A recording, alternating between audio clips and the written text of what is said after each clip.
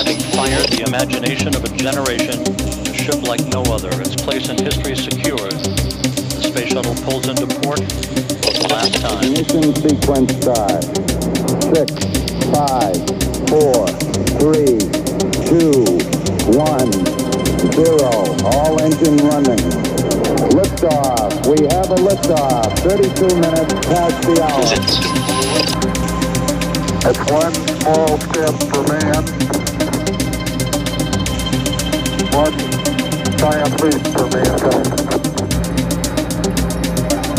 This is a new and strange environment first. It's suddenly finding yourself in orbit.